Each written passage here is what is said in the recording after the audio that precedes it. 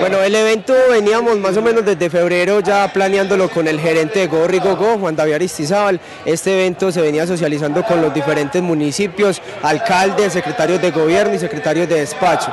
Ya desde ahí se dio el sí para este evento, pues como para organizarlo. En este momento hay algunos escenarios impactados o que estamos utilizando como es eh, la cancha municipal, el coliseo y una parte de, de lo que es la pista de bicicross. La cancha de fútbol en sí eh, se hizo una socialización con toda la población, con un ingeniero de los mismos que estuvieron en el proyecto de él. Nos decía que se podía utilizar para cualquiera de estos eventos, ya teniendo la póliza y los, y los requerimientos, pues los permisos por mediante la alcaldía del municipio de Guatapé. La idea es hacerle un mantenimiento casi de tres días en cuanto a cepillado, caucho y rastrillado a todo el tapete.